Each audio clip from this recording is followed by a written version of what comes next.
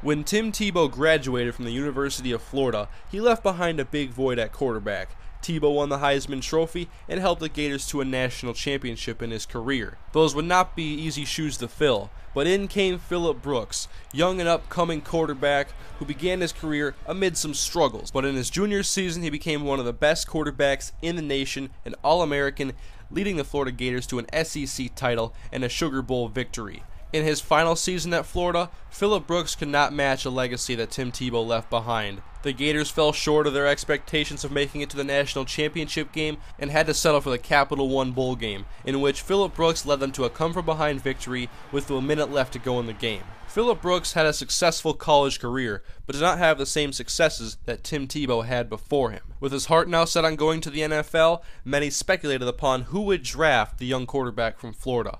Many scouts said he was very pro ready. He had a great arm and was very mobile, but others questioned his ability to read defenses in the NFL and may notice some of the costly mistakes Brooks made in big games in his college career. And so now, with all of that behind him, Phillip Brooks was ready to go to the NFL. There was one team under the radar who needed a starting quarterback that decided to take a chance on Phillip Brooks. That team is the New York Jets. Phillip Brooks was drafted to replace Mark Sanchez, and Tim Tebow. And so while the previous season was all about Tebow time and Tebow's great run with the Denver Broncos, Brooksamania had leapfrog Tebow time, and this storyline became a center of attention in New York. And so I present to you with perhaps the franchise quarterback of the future for the New York Jets. Phillip Brooks came in his first game against the Dallas Cowboys, who came after him with a lot of pressure. DeMarcus Ware, Anthony Spencer, this defense was relentless against the rookie quarterback.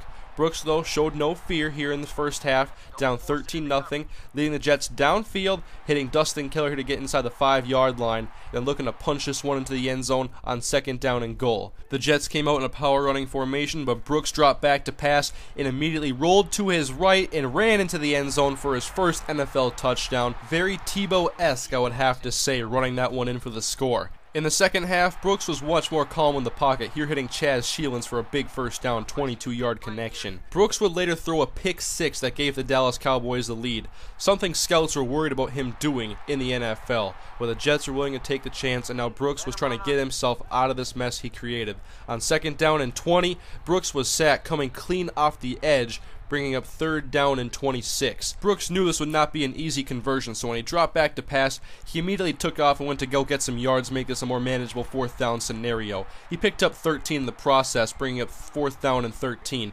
Not an easy conversion to go after, but Rex Ryan had other plans. He took his young quarterback off the field to punt the ball, and his defense could not get the ball back for the Jets.